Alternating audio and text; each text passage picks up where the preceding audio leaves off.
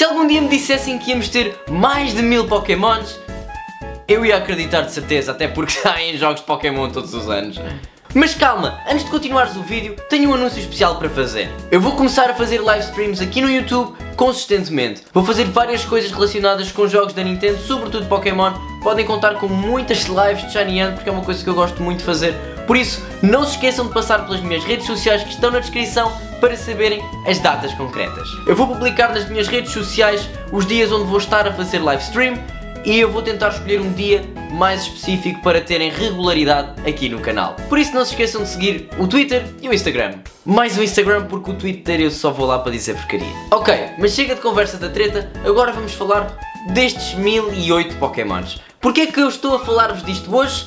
Bem, a Pokémon Company decidiu lançar um vídeo que eu achei muito, muito bonito a contar estes 1008 Pokémons. Eu gostei muito da maneira como fizeram a montagem deste vídeo, foi um vídeo de cerca de 8 minutos e 40, qualquer coisa assim. Teve um ritmo muito bom porque eles basicamente agruparam os Pokémons em grupos, como por exemplo no início nós vemos logo os Starters, que são os primeiros a serem contados, e depois vamos para vários subgrupos, como por exemplo os Roedores, os Pokémons do tipo inseto e de erva do início do jogo, depois mais para o fim tivemos os lendários, as Ultra Beasts. Eles na primeira parte basicamente tiveram só a mostrar os Pokémons desde Canto até Galar e vá, mais os Disui, ou seja, desde o Bulbasaur até a Enamorous e depois é que começaram a contar os do Scarlet e do Violet. E os do Scarlet e do Violet fizeram mesmo por ordem numérica. E claro que tivemos um destaque ao Pokémon que é o número 1000, que para quem não sabe é o Goldengo, esta criatura que destrói toda a gente online. Sim, aquele Pokémon que eu já mencionei num short porque é extremamente roubado,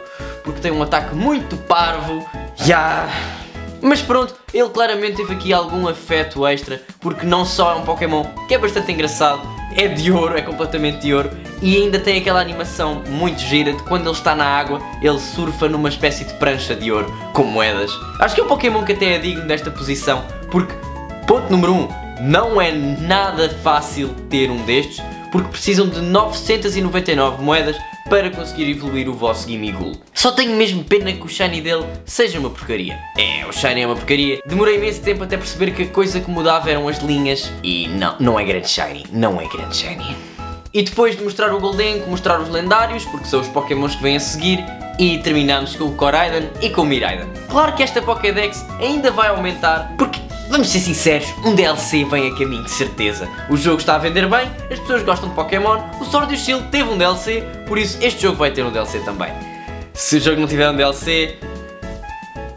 Ah, pois, mas eu acho que vai ter, eu acho que vai ter. Mas eu gostei muito deste vídeo, não simplesmente porque, ok, vamos celebrar os mil Pokémons, porque isso em si, obviamente, já é um grande feito, termos mais de mil criaturas num jogo que começou nos anos 90 e até hoje continua extremamente popular, mas sim porque nos conta precisamente a história desta franquia, que é uma história que muita gente gosta.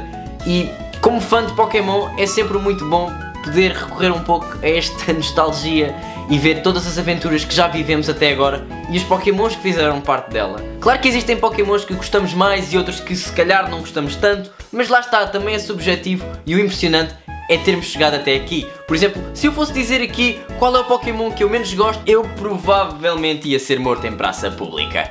Eu comecei a jogar Pokémon na quarta geração Ok, teoricamente foi no Mystery Dungeon Blue Rescue Team, que teoricamente é terceira, mas isso não interessa. Mas o primeiro jogo de main series que eu joguei foi de facto o Diamond. Por acaso houve uma parte no trailer que eu gostava de falar que é Eu já adoro o Relor, como vocês devem perceber, eu já fiz um short a falar de como gosto muito do Shiny, mas eu gosto muito do Pokémon. Mas no trailer ele faz uma coisa mais ou menos assim, tipo e epá, eu acho que só por isso ainda fiquei a gostar mais dele. Achei super engraçado ver o Relor tipo, hey! E por isso, lá está, Pokémon está cheio de pequenos momentos que, por mais insignificantes que pareçam, é o conjunto deles que acaba por tornar Pokémon uma experiência muito, muito boa. E pronto, mais de mil Pokémons. Espero que tenhas espaço na tua cabeça para saberes o nome deles todos, porque é por isso que eu acabo por me esquecer do resto das coisas do dia a dia, porque são demasiados Pokémons na minha cabeça.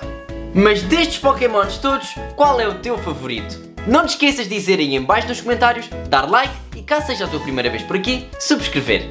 E agora é só continuar a esperar até que saiam mais jogos de Pokémon para, lá está, continuarmos a encher o nosso Pokédex. Vemo-nos numa próxima, tchau!